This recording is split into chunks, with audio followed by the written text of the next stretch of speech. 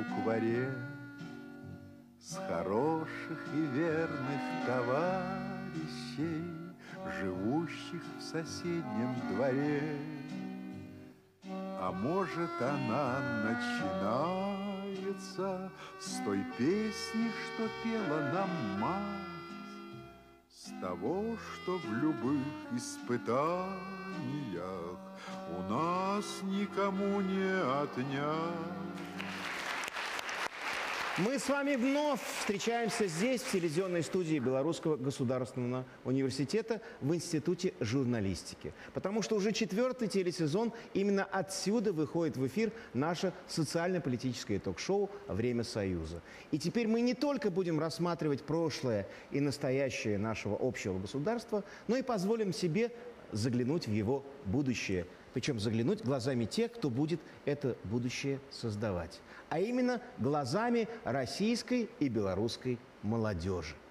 Но без прошлого невозможно будущее, мы с вами понимаем. Вот, например, и та песня, которой мы сегодня открыли нашу программу, и ее исполнитель Марк Бернес по праву могут считаться сами по себе символами советской эпохи. Точно такими же, как Петр Олейников и Любовь Орлова в кино и Леонид Утесов на эстраде. Именно о символах, о приметах и знаках времени, о параллелях памяти и современных нравственных ориентирах и пойдет сегодня речь в программе «Время Союза». Сегодня мы ведем эту программу с самой очаровательной, красивейшей ведущей Белоруссии. Да что там говорить, всего союзного государства – Светланой Боровской. Спасибо. Спасибо, Игорь, и постоянный ведущий, конечно же, Игорь Угольников. Мы с вами действительно понимаем, что не только знаменитые артисты, такие как уже названная Любовь Орлова, Леонид Утесов, символизируют эпоху. Вообще, по сути говоря, это была, конечно, эпоха титанов, иногда страшная, по большей части страшно тяжелая, но все-таки рождавшая многочисленное количество героев.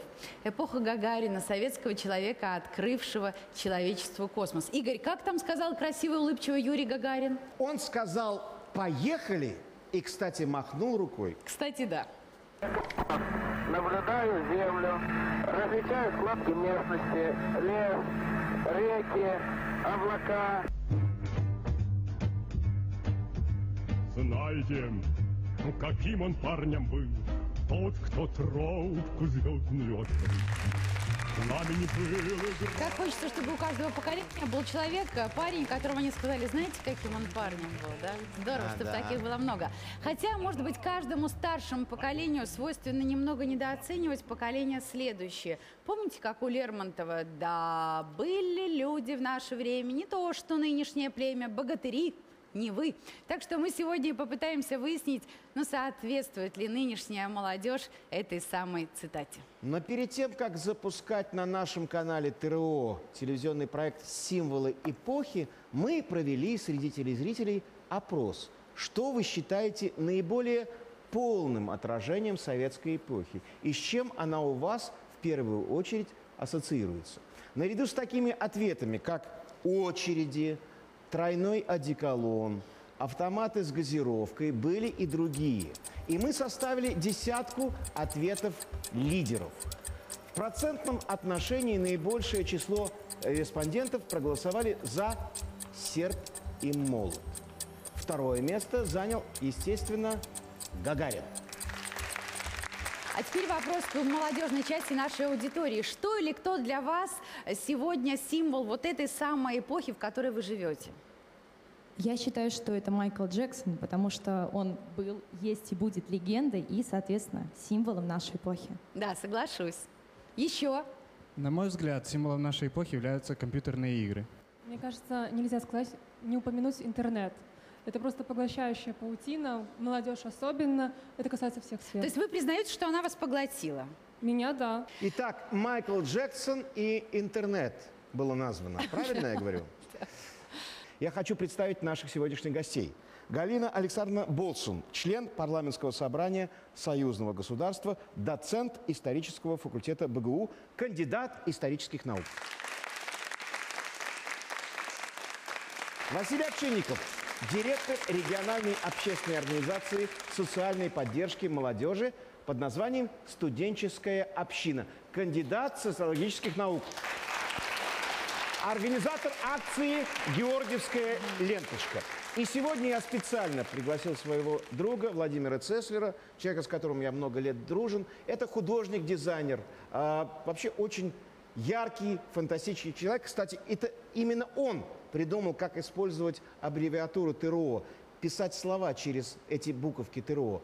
Утро, настройся, перестройка и так далее. Ему аплодисменты. Спасибо, что нашел время. Какие символы для тебя сейчас нынешними являются? Навер- Вот Майкл Джексон, интернет, что еще? Наверное, Джобс. Стив Джобс. Да. Хорошо. Я консервативно, учитывая, что мне предстоит говорить о символах советской эпохи, как вот о концентрированных образах эпохи, то я могу сказать, что в любом случае это национальный символ, государственный герб, флаг, гимн. Василий? Э, Наверное, все-таки некорректно говорить об эпохе вот сегодняшней современной. Да, эпоха советская 70 лет, и то, что мы тут 20 лет сейчас насобирали, это еще нельзя сравнивать. Эпоха, когда что-то ушло и началось что-то новое, можно подвести какой-то итог. Ну, может Но если есть- говорить о то- сегодняшнем дне, то, конечно, все-таки мы сейчас живем в каком-то обществе эпохи поп-культуры и потребления, и, конечно, ну плохо, грустно будет, если эта эпоха запомнится нам а, поп-звездами и геор- георги- и героями компьютерных игр. Тогда, Но такое может быть, возможно. у нас есть единый символ, да, и старой эпохи, и новой. Для меня э, эпоха советская, и она, ну, как бы я, мне 30 лет всего, но эпоха советская через родителей, через школу, через то, что я э, профессиональный там педагог, воспитатель, да, там, с, э, и мы занимаемся социализацией молодежи, все-таки еще на но- нов- к новым ценностям относимся критически. То есть на них Василий, вы уходите от ответа. нету еще, нельзя подводить итоги, но Вот это ответ. Вы считаете так же? Нету общего символа. Но я скорее склонна разделять эту точку зрения, что ярко выраженного символа, вот с, с- с той силой, которую несет это понятие, нет. Володя? Не знаю, вот сейчас, мне кажется, время на эпоху настолько сократилось. Да, вот можно сказать, эпоха мобильного телефона. Вот кто мог подумать, что 20 лет он разовьется так сильно, и это уже эпоха. Да? Вот представляете, эпоха Ренессанса, насколько длинная, да? А, тут эпоха, такой а вот это короткий срок. Это очень быстро все развивается. Сложно сказать. В общем, из этих ответов следует, что тема символы эпохи для программы нами выбрана точно и своевременно. И действительно, каждая эпоха нашей общей истории от Российской империи и Советского Союза до нынешнего союзного государства имеет свои символы, лозунги и знаки. И они – выражение времени, которое мы с вами вместе прожили и пережили. Правильно, сказала Светлана, героическая эпоха рождала героев. А я добавлю, эти герои звали за собой, вели к героическим поступкам и подвигам. Так вот, насколько символы прошлого важны для последующих поколений? Почему от них зависит, а от них зависит общая судьба наших стран и народов, народов союзного государства? Вот вопрос вопросов, и задаем мы его Галене Болсун. Ну вот, на мой взгляд, символ – это концентрированный образ эпохи.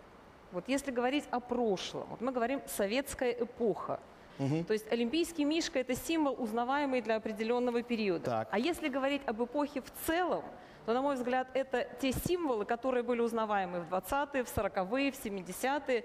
Вот здесь, на мой взгляд, их несколько таких глобальных. Это красный флаг, Так. это советский герб, комсомольский значок, октябрятский значок, пионерский галстук. Потому что это были вещи, которые несли конкретную смысловую нагрузку. И Если мы с вами обратимся к периоду Великой Отечественной войны, то увидим в немецких донесениях, немцы писали, изымать у населения атрибуты советского строя, наказывать за хранение этих атрибутов. Вы представляете, как должен гордиться человек пионерским галстуком или комсомольским значком, чтобы прятать его, рискуя жизнью? Но молодежь этого уже не помнит. Для них это уже вот предание старины глубокой. Володя, а у тебя сохранился э, октябрятский или комсомольский значок? Ты был вообще комсомольцем? Конечно. Ты сейчас так говоришь об этом, что Конечно, мы тебе был. мало верим. Это правда. Да? Есть, да. А пионерский галстук у тебя был? Это я даже гордился галстуком. Что-нибудь сохранилось из этих а, атрибутов у тебя до сих Горькая память. То есть, пор? Горькая память сохранилась у Володи. Собственно, а какова вообще природа преемственности поколений? Какая польза от этого явления? К нашему разговору с Галиной Болсон прошу присоединиться руководителя молодежного движения, которое называется «Авангард». Ну, то есть само название обо всем говорит. Марат Абрамовский у нас гостях. Здравствуйте. Добрый день. А, скажите, Марат, ну вот какой символ для вас лично, как для молодого человека Марата и для вашего молодежного движения символ эпохи? Ну, я думаю, это достаточно сложный вопрос. И, наверное, сегодняшний день э, будет затруднительно сказать вообще, какой, какой символ молодежи. А вы концентрировано нам. Э, Концентрированно я соглашусь с ответом кого-то из э, студии. Это, наверное, все-таки символ интернета. И, э, собственно, интернет, он является неким консолидирующим фактором молодежи, где э, мы можем э, общаться, договариваться, как-то проектировать, придумывать, совершенно как бы не стесняясь и как бы не А скованно. как вы относитесь к тем, которые вот так могут плюнуть безнаказанно, потому что их никто не увидит? Э, Отношусь негативно, и в первую очередь э, работа нашего движения, она очень часто сталкивается вот с такими вот так называемыми троллями, Да. э, которые действительно... Ну, троллинг — это тоже профессия, собственно. Они... Отвратительная профессия. Ужасная, Можно пожать ужасная. вам руку, что вы с ними боретесь? Мы с, мы с ними боремся. Отчет проекта, а, завершившийся без троллей, а, уже на второй раз он, как правило, намного хуже, потому что а, мы обратили внимание, что, собственно, троллям он не интересен, и, соответственно, когда только положительные отзывы, То есть давайте спросим, вдруг меня посетила мысль, давайте спросим у Игоря Угольникова, вот если, например, он увольняет человека, у него не бывает так утром, что как-то грустно стало жить без этого тролля? Светлана, когда вы помните хоть как один факт, когда кого-то уволил? Вот Нет, я не помню, но такое же могло быть в вашей жизни. Могло быть, но я ни разу этого не делал, к сожалению. А вот скажите, мы сейчас, мы сейчас э, иногда ругаем интернет и говорим, что это нехорошо, что молодежь туда полностью ушла и забыла о э, действительно своей жизни, которой она, собственно, должна жить, живет какой-то виртуальной жизнью. Это все равно, что мы бы ругали прошлое за то, что люди пользовались телефоном. Почему мы так относимся к этому так негативно? Скажите, А, пожалуйста. Я бы хотел немножко заметить, что все-таки это не соответствует действительности, потому что интернет, он не оттягивает нас от реальной жизни, он наоборот э, в какой-то степени ее улучшает. И если бы не было интернета, соответственно, не было бы молодежного движения «Авангард», потому что... А если бы не было авангарда, то мы бы сомневались в интернете. Ничего бы не было. Да, конечно, не было вообще. Не было бы молодежного движения в принципе. Браво! Расскажите, что это за движение? Поподробнее, пожалуйста. Э, Я вот как раз таки хотел по- подвести, что одним из лозунгов, наверное, основных, это консолидация молодежи онлайн и вывод ее офлайн. Подожди, куда вы Куда оффлайн? Куда, куда, куда оффлайн? Да, Извини. куда? В, в офлайн это в живой, в мир, в, ре- в реальный мир, в Куда живое в мир? общение. Расскажите, куда нам идти в мир? Расскажите. А ваше движение, прежде всего, от интернета а, в нормальную реальную жизнь. И вы утверждаете, что пользование интернетом как раз к нормальной реальной жизни нам дает э, больше стимула и больше возможностей. Так ли? Да, безусловно. И даже если поговорить э, про э, международную статистику именно вот, ну, европейскую, там, то э, там ведь интернет появился много раньше, и, собственно, она показывает, что сейчас э, люди ну, немножко дистанцируются от интернета, то есть Дозируют, дозируют, да, уже все, все меньше процент э, людей проводит свое количество времени вот именно в самом интернете. Поэтому э, в Беларуси тоже намечается такая тенденция, я даже по себе могу судить, если я еще полгода назад проводил ну, огромное количество времени в интернете, то сейчас я действительно дозирую, и, собственно, это А сколько вы здоровья этим самым прибавляете своим родителям? Безусловно, они видят, они знают, что сын дома. Не важно, что они смотрят на меня сзади, но Давайте вернемся к графику, составленному по ответам наших телезрителей, и дальше пойдем с конца. Итак, десятку ответов замыкает червонец. Вот с десятки, а именно с червонца, мы и пойдем дальше.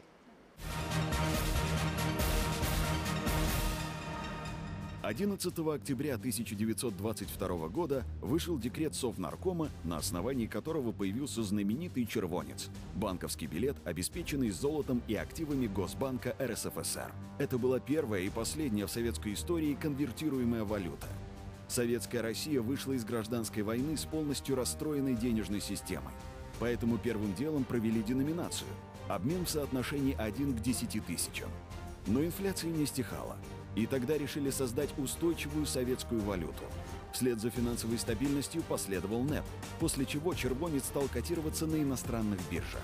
Он превышал долларовый паритет, его можно было разменять и приобрести во всех странах мира. Кстати, во время войны на оккупированной немцами территории платежным средством был советский червонец. Парадокс, но зарплату предателям и полицаям платили сталинскими купюрами с портретом Ленина. Ходили червонцы до денежной реформы 1947 года, когда обмен производился 10 к 1 для нажившихся за войну спекулянтов и 1 к 1 для обычных работников, а таких было 95%. Через 14 лет такую же девальвацию проведет Хрущев, но у него это получится плохо. Потом пришел Гайдар и превратил червонец в бумагу.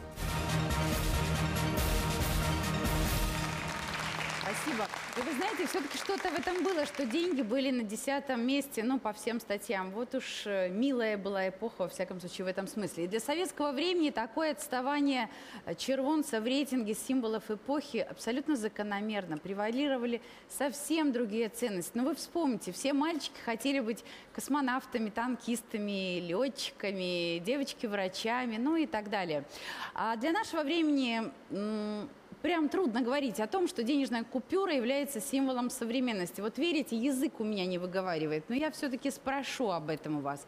Скажите, так ли это, что деньги сегодня стоят на первом месте, они гран-при, лауреаты и все такое прочее?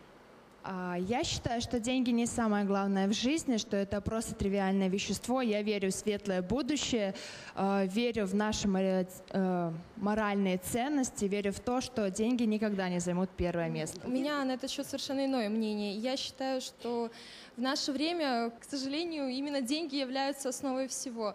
Если э, рассмотреть эту проблему на глобальном уровне, так э, развитие, направление развития внешней и внутренней политики государств зависит именно от э, состояния экономики этих стран. Если взять отдельного человека, также все в его жизни сейчас решают деньги. Если вы придете на работу, да, вам очень нравится работа, но вас не устраивает зарплата. Но если она вам очень нравится, и вы можете действительно сделать карьеру, вы умеете это, неужели вы не пойдете, если там на 100 долларов меньше? Нет, конечно, если есть возможность карьерного роста, если есть возможность саморазвития, тогда да, тогда, возможно, деньги отодвигаются То на есть, второй возможно, план. варианты возможно, для вас в том числе? Возможно, но мне кажется, что все-таки именно деньги сейчас, если не все, то многое решает. Ну тогда только замуж за банкира, только, я не знаю тогда что.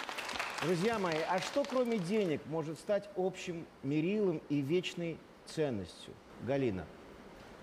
Я, может, очень консервативно отвечу, но мне кажется, профессионализм в любой области, чем бы человек ни занимался, либо это театр оперы и балета, либо это хирургическая операция, учитель в классе, ведущий в студии. То есть, мне кажется, только высочайшее, высочайшее мастерство и профессионализм человека в профессии могут говорить о самоуважении, потому что от количества бриллиантов, денег и так далее, как бы вот уважение среди коллег, э, ну, степень, самоуважения не зависит самоуважение. Василий? Вот э, исследования российские последние э, молодежи, они показывают, что, э, ну, во-первых, материалистические ценности двухтысячных, да, это очень видно сейчас, вот за эти два-три года последних э, уходят в прошлое, появляются такие новые ценности, как самореализация, там, в общем, каким-то реализация, реализация. В принципе, как и девушка в студии сказала, началась денег, закончили самореализацией. Она находится на переломном таком моменте, как и вся молодежь сегодня. А ценности вот из таких э, самые первые семья, дружба, э, общение. Это вот идут в социологических рейтингах. Такой порядок. Семья, да, дружба, да, общение. Да, да, да. Володя. Ну, я считаю, что все-таки сегодня э, на первом плане стоит, э, ну, я не знаю, это ценности финансовые и ценности, конечно, материальные. Э, как это ни страшно, духовные ценности отошли на последний план настолько, что они еле-еле почти не исчезли. Сегодня в основном почти 99% интересуют только материальные ценности. Я это вижу, и я это наблюдаю с, после советской власти. Она все время падает, падает, падает. И снова предлагаю обратиться к нашим исследованиям. На девятом месте, собрав 4,5% всех голосов, оказался советский граненый стакан. А на восьмом, набрав 5,7%, знаменитая скульптура «Рабочий и колхозница». Мы объединили их в одном э, сюжете. А почему, вы сейчас сами увидите.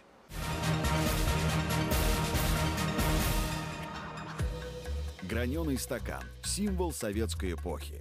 Когда говорят «граненый стакан», на ум тут же приходят другие приметы эпохи, которую мы потеряли. Автоматы для газированной воды, портвейн «Агдам», сакральный вопрос «Третьим будешь?». Предполагают, что первый граненый стакан царю Петру Первому преподнес Владимирский стеклодел. Уж такой день не выскользнет на качающейся палубе из ухватистой матросской пятерни. Вторая жизнь граненого стакана началась в советские годы, и идея его реинкарнации принадлежит знаменитой Вере Мухиной, той самой, которую мы все знаем как автору монументальной скульптуры «Рабочий и колхозница», за которую ее вознаградили сталинской премией. Считается, что над стаканом Мухина трудилась вместе с известным художником-авангардистом Казимиром Малевичем, тем самым, который написал «Черный квадрат». Но авторство – дело десятое. Главное, что народ получил удобный многогранный сосуд. Его варили при температуре около полутора тысяч градусов. Дважды обжигали и гранили по специальной технологии. А еще, говорят, для пущей крепости в стаканы добавляли свинец, который делает стекло прочнее и более играющим на свету. Но любителям стеклянной посуды советского периода не только заграненный стакан стоит благодарить Мухину. Ведь именно она создала еще и дизайн классической пивной кружки.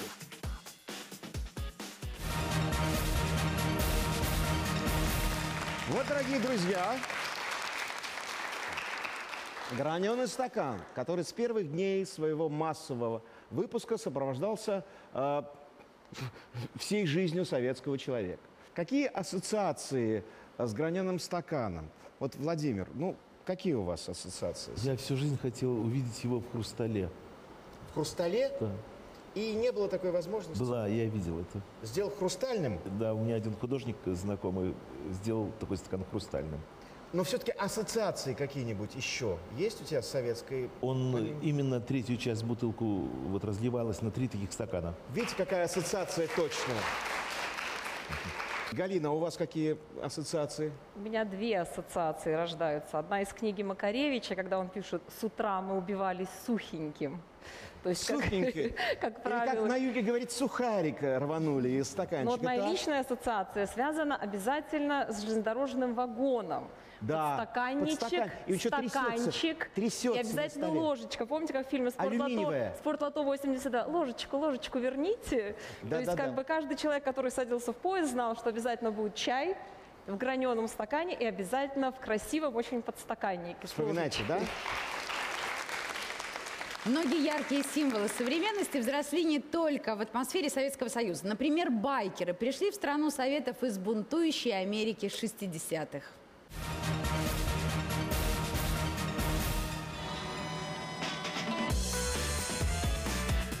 Байкеры – моторизированные стаи бунтарей.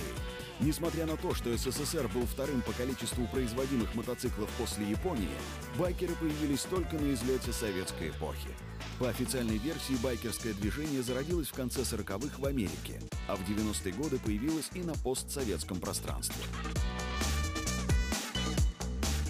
Железный конь пришел на смену, на смену четырехногому. Мужчины всегда ездили, в том числе русские люди всегда ездили на двухколесной технике. По виду они, конечно, страшные. Они в коже, они черные, темные, гремящие. А в душе они как дети. Байкеры – это стиль жизни и отдельная культура. Это братство, вечная дорога, взаимопомощь.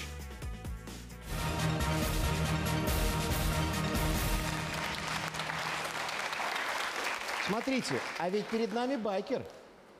Это байкер. Еще Я... какой. Он долгое время ездил на мотоциклах. Володь, давай если совсем так не иронизировать.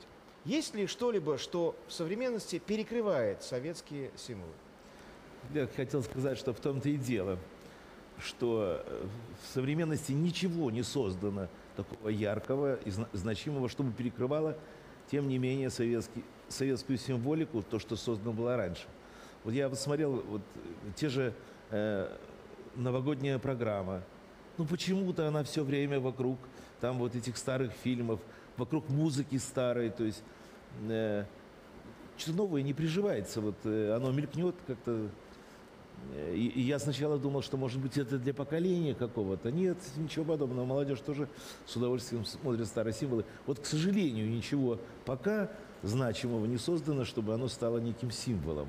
если он только не позаимствован. Ну, ну как Хэллоуин, допустим, День Или, например, то Валентина. же самое байкерство, да? Да, да, да. Родившись на Западе, это байкерское движение, э, тогда рокерское, да, как это называлось, э, легко прижилось на нашей земле, обросло даже какими-то национальными российскими и даже белорусскими традициями. Смотрите, у меня вопрос к Галине. А почему, как вам кажется, вообще э, среди нашего населения, как сейчас говорят, союзного государства, вообще любить родину, да, быть патриотом вообще не модно как бы среди молодых людей. Но мне кажется, это преувеличение. Мы можем говорить о том, что есть определенные тенденции. Вот говорят, э, любить историю. Для того, чтобы историю любить, ее надо знать. Вот, на мой взгляд, негативное отношение или даже где-то циничное отношение молодых людей к знанию рождается там, где человек не знает. И вот свое незнание он пытается, особенно в гуманитарных науках, таких как история, он пытается прикрыть тем, что это его особая точка зрения.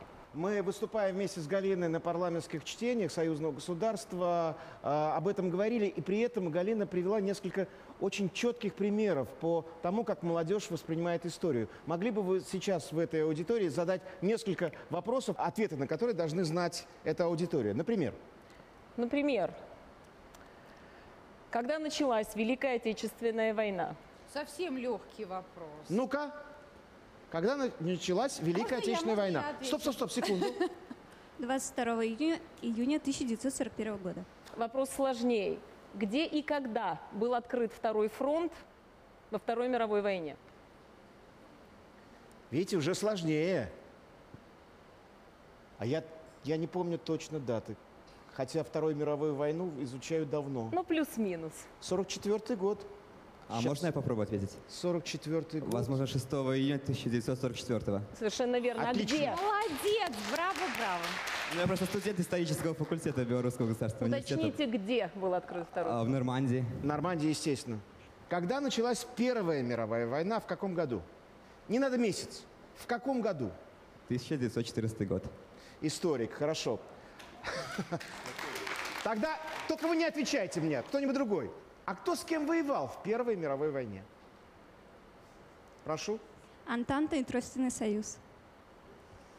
Неплохо? Блестящие знания, Отлично. блестящие. Думаю, что есть еще молодежь, для которой Родина – это великое слово. А Георгиевская ленточка – это важный символ, который а, пришел из прошлого и перешел в настоящее. Один из наших гостей – человек, который, собственно, и придумал, как возродить этот символ сегодня. Василий Овчинников. Расскажите об этом еще раз. Мы хотим это еще раз от вас услышать. Э, Ну, Игорь, тут э, не совсем э, я придумал, да. Ну, есть, я трудился над тем, чтобы это было организовал, да, Да. То есть придумала девушка, журналист, и начиналась акция банально. То есть, наверное, может быть, какие-то вещи действительно так создаются. Мы же просто хотели а, раздать э, ну, некую памятку людям, чтобы они зашли на сайт и посмотрели оцифрованные тогда, оцифрованные а, материалы Софинформбюро, фотографии, видеоленты, рассказы оч- очевидцев, современников. И э, тогда был между делом в московом штурме был сказан идея, а если мы возьмем эту вот ленту с плаката, да, которая на плакатах-то на всех была, и материализуем ее. И вот, в общем-то, зацепившись за эту идею, мы нашли способ производства недорогой, да, скинулись, чтобы изготовить, нанесли туда э, сайт 9may.ru и начали раздавать. И, в общем-то, вот этот э, ажиотаж, вот эта волна, то, как был этот символ подхвачен, он был для нас неожидан достаточно. Ну, то есть мы планировали, что мы в какое-то время перед Днем Победы раздадим эти ленточки, люди зайдут на сайт, посмотрят материалы, и мы как бы выполним нашу такую некую социальное обязательство. Но началась э, действительно волна. В этом символе многие нашли какой-то отклик да, внутренний. Кто, для кого-то стал символом объединения, для кого-то символом а, сейчас это протеста, для кого-то это память, для кого-то это возможность напомнить другим. А, и, и каждый нашел в этом символе что-то свое. То есть нельзя сказать, что это вот это символ, значит то-то и то. Он действительно в сердце отзывается по-разному. А, ну вот называть это символом эпохи, я, я об этом подумал, когда вы задавали вопросы, но все-таки я считаю, что очень мало времени прошло. Быть может, этот символ так же, как пришел, так быстро и уйдет, и не останется в памяти. А может быть, приживется. Но Давайте ведь еще это второе поживем. рождение, уже, уже получается, вто- а, третье рождение георгиевской ленточки. Ведь э, после революции георгиевский знак, как особое воинское отличие Российской империи, было забыто. Да, георгиевские цвета, ленты, они присутствовали на многих наградах. Они из одной э, да, эпохи переходили в другую. Орден Славы они, всегда, да, установили. Всегда, да, были символом э, именно э, солдатской доблести какой-то, там, э, героизма. Но это единственное, что, пожалуй, перешло из той эпохи. Больше практически ничего. Света, как вы думаете? Ну, вот ведь патриотизм – это чувство, с которым не рождаются, и в роддоме не дают свидетельства, да, что человек родился с чувством патриотизма. И обо всем этом с ребятами, вот с нашими юными, талантливыми, которых мы сейчас только видели, прекрасные, блестящие ответы, нужно говорить на их языке с самого начала, как только они умеют говорить. Это мамы, папы, бабушки, дедушки, и потом школа, как бы банально это ни звучало. В общем, те, кому положено. Я вот э, хочу сейчас спросить у вас, поднимите руки сейчас те, у кого есть хотя бы один названный мною предмет. iPhone, смартфон, планшет, ноутбук, мобильный телефон. Ой, я не успел даже договорить. Скажите, по сколько часов вы проводите в день, каждый день, у меня нет сомнения, что это каждый день, а вот с этими замечательными современными вещами? Ну, это, наверное, для каждого хотя бы минимум два часа. Ну, уже Ой, не это какая-то идеальная история. О смартфонах это постоянно, он всегда в наших руках. Это Да. помощник самый-самый первый. Ну, я думаю, может, со мной все согласятся, если брать все в общем, Да. тогда это целый день, с утра до вечера. То есть мы ложимся, поставив телефон на зарядку, встаем под будильник, который на этом же телефоне звучит. Ну, тут вы меня, конечно, сделали, как говорится, как будильник, да. Вот чтобы вы сидите, вот, вот это Нет, вот. а все равно это же идет использование. Вы не используете старые будильники. Зачем вам загромождать квартиру старыми вещами какими-то ненужными? У вас есть телефон, один маленький аппарат, который заменяет будильник, часы, наручные. У вас свободные руки, у вас свободно в квартире место. Да, маме Как посуду вы вымыть, используете например. свои свободные руки, свое свободное время, свои устремления? Скажите. Свое свободное время можно было бы использовать, проводя с э, родителями, с друзьями, опять же. Но вот давайте просто ударимся немножко в детство. С чего... С удовольствием. С чего, вот почему у нас вот мы все ходим с телефонами, все время сидим в интернете? Это все начинается банально от родителей. Сынок, на тебе телефон, чтобы ты мне мог А, позвонить, нашли чтобы я знала, где ты находишься. Ужас! Мы Подождите, виноваты, ну ведь конечно, вы- тогда мы вы вам первые, это они же первые, как будто мы мама и папа, вот наш сын. Вот вы первые же скажете, что, а вот у Васи, Пети, Коли и Зины, значит, здесь телефон уже есть, а у меня зависть. нет. И мы же для вас последние отдаем. Но тем не менее, вы сами в этом находите плюсы. Логично? Потому что мы вас любим. Ну что ж, видите, что получается? Мы без этого никуда не денемся. И поэтому я хотел бы представить вместе со Светланой а, организаторов белорусского конкурса «Патриот Бай». Именно я- к этому... Да, пожалуйста. Да, я прошу. бы хотела вообще низкий поклон вам сразу вот ответить прям символически. Действительно, организаторам белорусского конкурса «Патриот Бай» в их лице вот присутствующую красивую, умную талантливую женщину. Это уже абсолютно доказано в нашей студии. Елена Викторовна Горбарец, здравствуйте. Здравствуйте. Скажите, пожалуйста, ну вот игра дело серьезное, но вот э, как здорово, что вы точно знаете, куда вести наших юных чат. Давайте продемонстрируем, как это делается на этом портале, а вы сможете это прокомментировать. Прошу.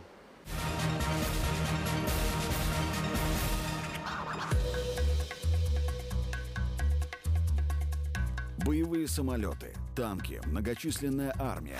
Все эти баталии создали ребята, которые знают о Великой Отечественной только из учебника истории. В конкурсе patriot.by компьютерные технологии на страже советской армии. За родину воевали более 50 человек в возрасте от 12 лет до 21 года.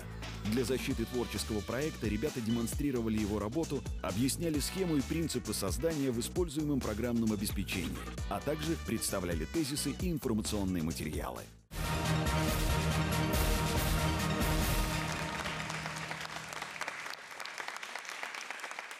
Конкурс, республиканский конкурс по разработке компьютерных игр патриотической направленности – это не что иное, как гражданско-патриотическое воспитание через использование интернета и высоких компьютерных технологий. В этом конкурсе было две номинации. Одна номинация «Нам дороги эти позабыть нельзя». В этой номинации были представлены компьютерные программные разработки на патриотическую тематику, посвященную героическому прошлому белорусского народа, российского народа. А в первой номинации кто победил? Первая номинация победил Максим Ситник. Да, Елена Максим? Викторовна, и позвольте, мы пригласим его в студию. Максим, входите, пожалуйста. Вы вот победитель, вы герой. Подходите, подходите к нам сюда. Скажите, ну вот как это, как композитор, который не знает, будет ли это хит, да, вот так же вы не могли знать, будет ли это интересно, да, возможно, это гениально сделано, но это скучно, и все выключили. Вот все как Да. вы ощутили вот этот тумблер, что будет интересно? Игра сделана в 3D. Мгм. То есть э, можно походить по комнате, посмотреть все живую. То есть все супер современно. Ну, не сказал бы, что суперсовременно, но достаточно интересно, Мгм. я думаю. То есть... Скромный. Скромный, еще и скромный, скромно, да. Я сначала сам, конечно, слегка сомневался, но по мере разработки я видел, что мои ожидания, они оправдываются. То есть я где-то добавил звук, где-то добавил еще какую-то декорацию. Нет, хорошо, а всё. вам говорили ваши друзья так, Макс, это не то, это тоска вообще, все не Нет, э, такого, чтобы тоска, мне не говорили. Мне, мне помогали, мне говорили, Вот, типа, надо подправить это, друзья, значит, надо да. сделать вот так-то. Мгм. Я, конечно, соглашался с их мнением, потому что некоторым людям все-таки может быть виднее Ну со да, стороны. да, конечно, здорово. Спасибо большое. Спасибо вам большое Спасибо. за замечательное дело. Я, Максим, поздравляю вас с заслуженной победой, а вас благодарю за создание этого замечательного Спасибо. ресурса «Патриот Бай». Я Спасибо вам большое. да. Спасибо огромное, Елена А мы Викторовна. возвращаемся Спасибо, к нашему списку э, победителей символов эпохи. Следующий символ номер 6. Самый теплый из всех на экране перечисленных. Правда, разделил он голоса поровну по 8,9% самым вкусным символом. Мы ему отдали а, пятое место. Итак, номер 6. Олимпийский мишка.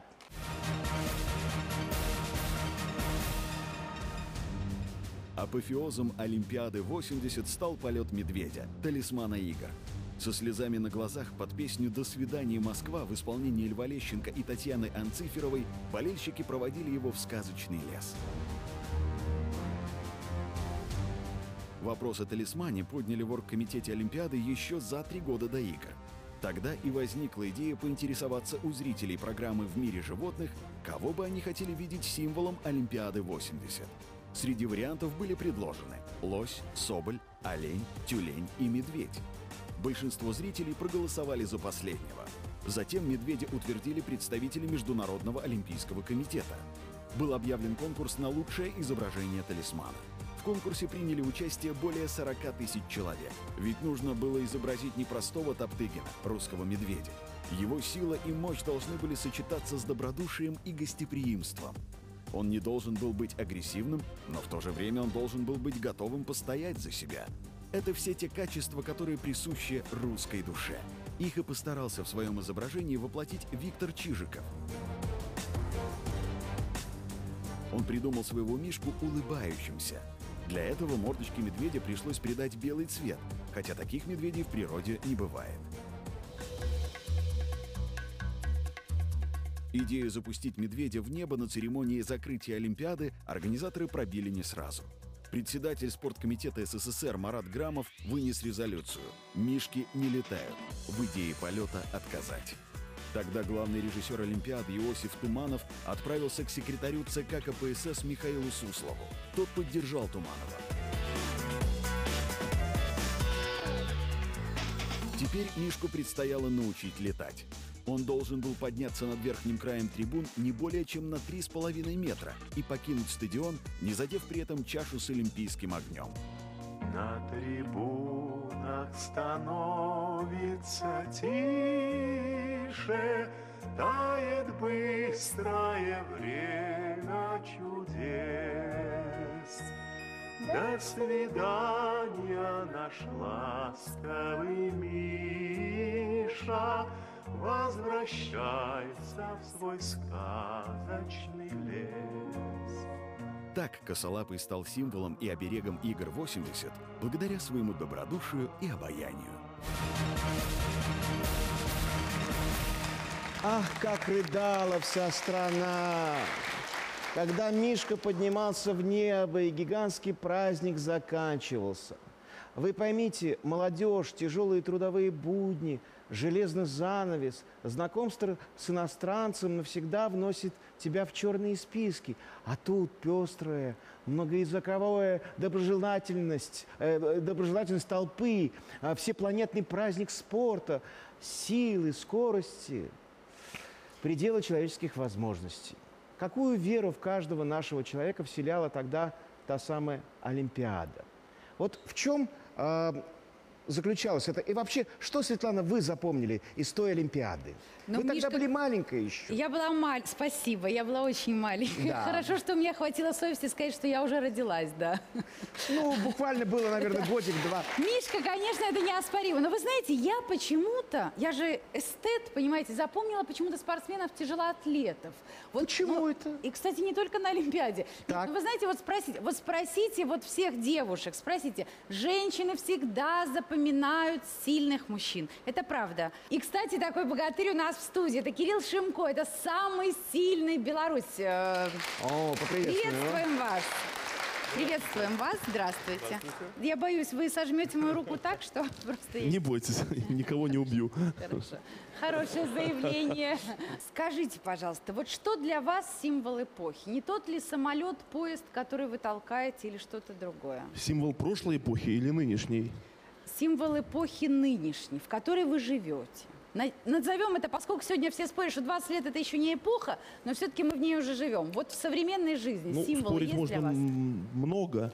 Где тот прибор, который померяет, по большому счету, так же, как Хороший рассказывают вопрос, кстати. про красоту или про что-то еще. Поэтому э, хотел бы быть более-менее объективным в этом смысле. Ну и не то, что сказать о символе, но во всяком случае удивить и показать теми возможностями, которыми обладали атлеты прошлого. Вот то, что принес... Покажите. Можете продемонстрировать это? Я ассистентка. Давай, ассистируй, давай, нам интересно. Так, У нас студия самого чистого образцового содержания. Так, держу. Осторожно, только подальше, пожалуйста. Я очень боюсь, что отлетит кусочек на меня.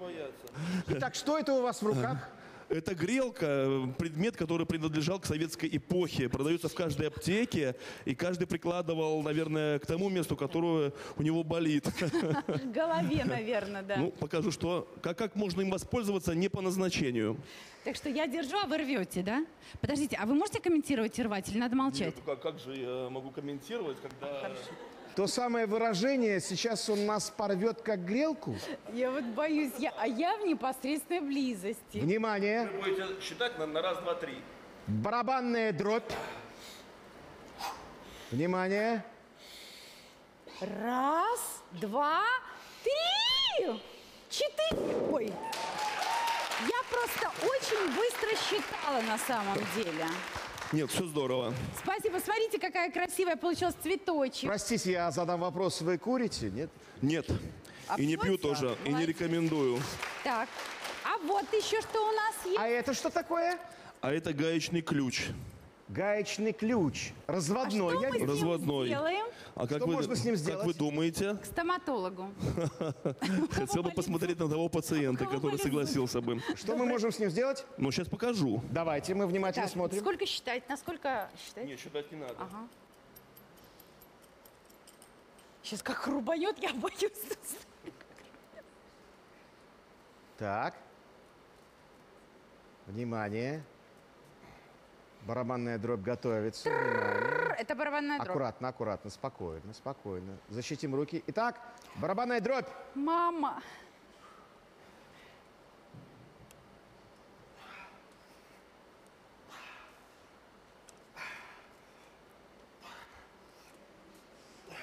Разворачиваем. Этого не может быть. Этого не может быть, дорогие друзья. Ой, а, а- а- Можно я возьму это себе на память? а знаете, мне кажется, когда вы будете... Сувенир для ручки. Смотрите, когда вы будете идти вечером, и к вам подойдут хулиганы, вы скажите, я могу с вами сделать вот это. И Они не поверят и наваляют мне еще больше. Так, еще А, карты у нас да, есть. еще карты Вещь. есть, да. Игральные карты. Символ советской эпохи. Символ советской У нас в эпохи, России которые... казино запрещены. В игральные А- именно а карты никто разрешены в официально не играет. разумных Только пределах. дома на кухне. Итак, давайте порвем с прошлым. Внимание. Что вам Две колоды по 36 карт. Так. Несложно догадаться, что получается 72 карты. А, Еще одна упала. 35 я вижу. Да. Так. Ага. Так, по 36. Итак, внимание. Знаете, как это? Сколько не хватает? Одной Так. семерки бубновой, Да, да? ну вот. Внимание. Продемонстрировать, показать. Да, вы, вы сюда говорите, а там демонстрируете. Ну и карты превращаются. Сейчас покажу во что. Ой. Итак, карты превращаются. Карты превращаются. О, боже. Этого не может быть. О, вот боже. этого не О, может боже. быть. Ой-ой-ой. Вот во что они превращаются. Мы порвали с прошлым. Бросайте, бросайте. Делайте это. Можно? как- Вот так вот. Вот так вот. Класс! Вот здорово наследили. Ой, Спасибо огромное за эту демонстрацию человеческих возможностей. Спасибо нашему гостю. Спасибо. А мы продолжаем нашу программу. Для меня символ эпохи комсомольские стройки. Даже мои родители познакомились на Целине. Так что я дитя стройотрядов.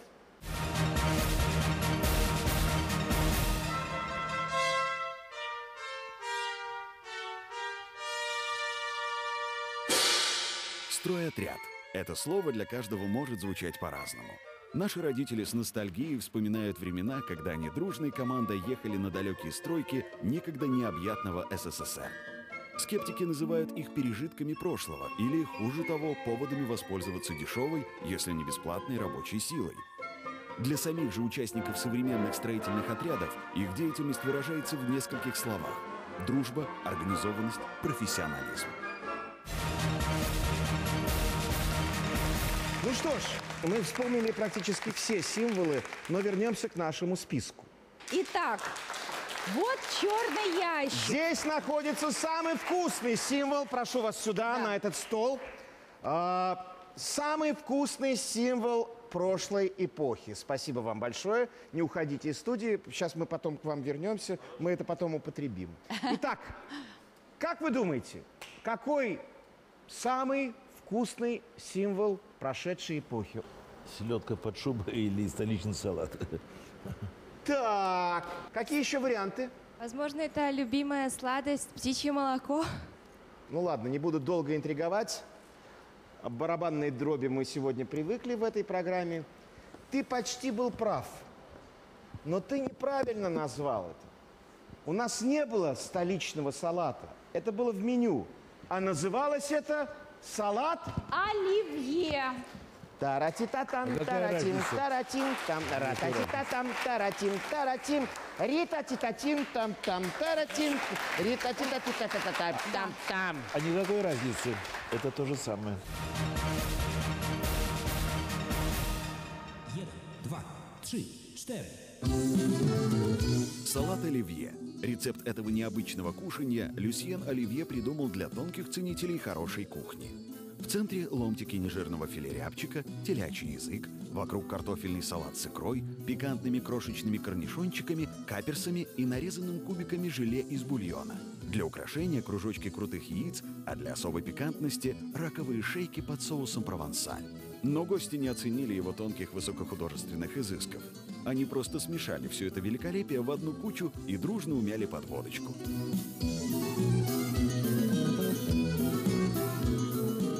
Оливье был вне себя. Но разве мог он что-то возразить богатым посетителям?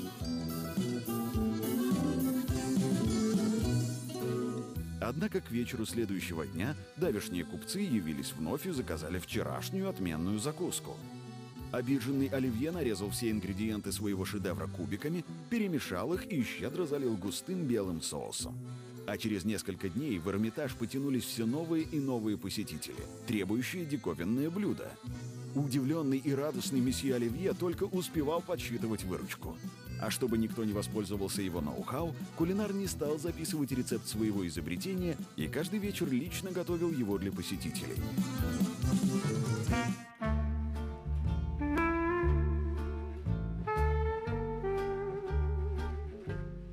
На родину салат оливье вернулся лишь в 1935 году. Его уже как символ французской кухни подавали в ресторане только что открывшейся гостиницы «Москва». Простые люди заходили в шикарный ресторан редко, исключительно по большим праздникам. И именно тогда в сознании народа и родилась устойчивая связь аристократического салата с Новым годом и шампанским. Хотя, конечно, этим калорийным блюдом лучше закусывать более крепкие напитки.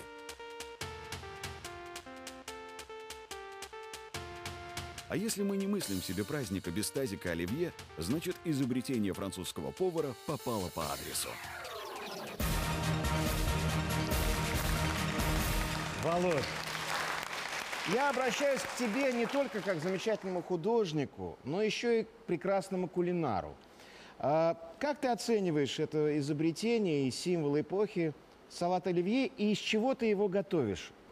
Я вместо колбасы кладу курицу. Так. Э, меньше картошки, больше горошка. Так.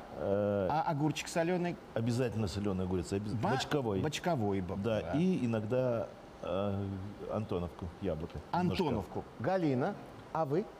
Без Антоновки. Без Антоновки. Василий, как вы относитесь к тому, что все-таки этим салатом надо закусывать крепкие алкогольные напитки?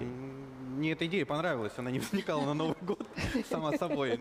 Ну что же, а я в конце нашей программы хотел бы сделать э, несколько подарков, поскольку э, я бы хотел поблагодарить э, сегодняшних участников нашей программы и выйти на то, что символы, конечно, мы э, должны иметь, но у нас их э, новых нет. Итак, сюрпризы. Я представлю вам э, произведение этого человека.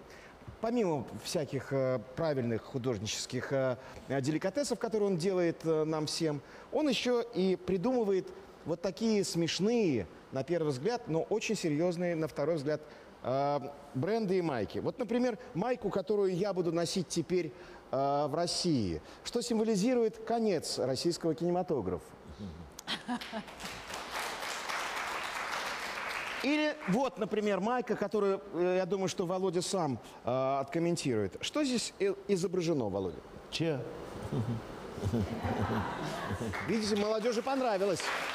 Хотя они, я думаю, не знают, кто такой был Че Гевара и чем он ценен для нашего прошлого, да? Дальше. Вот это мне нравится особенно. Это абсолютно белорусская майка Володи Цеслера. Драник Лэнд, это наша история, да. Так. Мне очень нравится эта надпись, прекрасная. Комментируйте, Владимир. Птица счастья, завтра шняга дня. С большим юмором. Вот это мне очень нравится. Это московским гламурным девушкам. В Беларуси, я думаю, что это не будет популярно, а московские гламурные девушки поймут. Это лаве.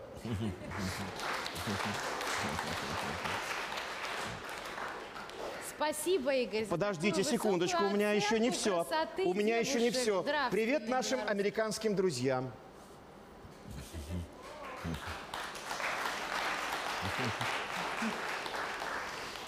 Ну и, наконец, самая моя любимая майка, которую я готов показывать в, в сегодняшние праздники. Новогодняя. Новогодняя маечка, прошу вас.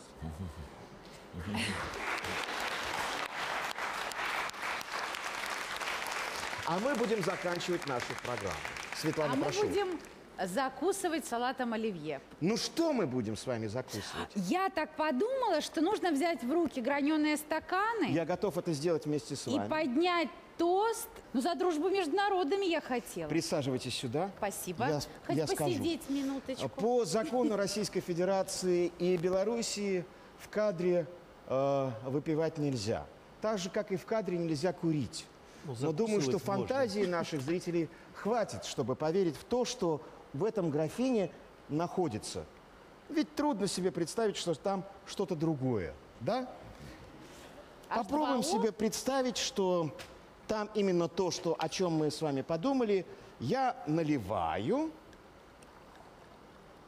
Вы какой-то химик просто. А звук-то какой хороший. И подниму этот граненый стакан за то, чтобы у нас с вами хватило сил и терпения и надежды, что символы в нашей жизни будут все прибавляться и прибавляться, и никоим образом не убавляться. Всего вам наилучшего. Спасибо за участие в нашей программе.